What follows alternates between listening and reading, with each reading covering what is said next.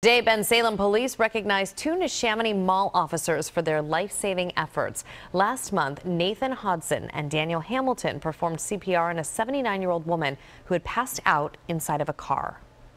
That night, when I was driving around, motorist flagged me down and was like, please help me. So I drove around, parked up, came out, assessed the situation, realized she did not have a pulse, realized that she was not breathing and unresponsive. I immediately, my training immediately kicked in for multiple times over. I needed to get emergency response here.